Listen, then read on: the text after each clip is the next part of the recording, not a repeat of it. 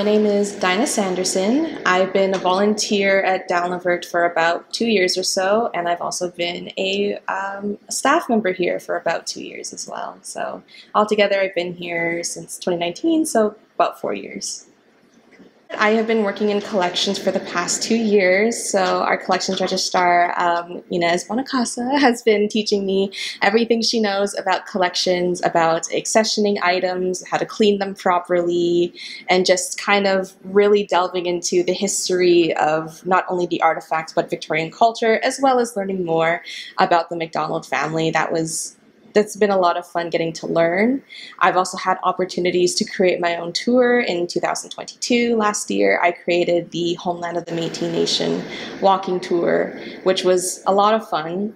Uh, when I first created it, it was kind of my way of trying to discuss our colonial history a little bit more explicitly and also trying to put Dalnavert in the much larger context of Manitoban history.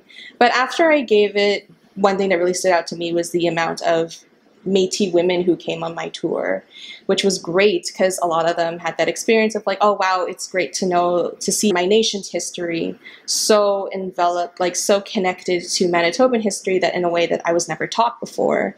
And so I realized that um, my walking tour was more than just discussing the colonial context of Dalnavert. It was just a way for people who are like me to see our history in the much larger Canadian context that we never had a chance to to have when we were when we were growing up. This year, I got to do my own lecture series, which was extremely intimidating, I won't lie. When I had my cookbook one, there were so many people, and I was so thrown off by how many people ended up coming to this. And I, I, was nervous because I don't think I've ever really given a presentation like that since high school. And obviously, very different levels between like just giving a high school history level like presentation versus like giving a lecture series within a space for the museum. So it was definitely intimidating. But uh, as I started to do more research and I'd done my other ones, I had a lot more fun. I could tell the audience had fun with the content I was giving, and I'm just very grateful to have had the opportunity.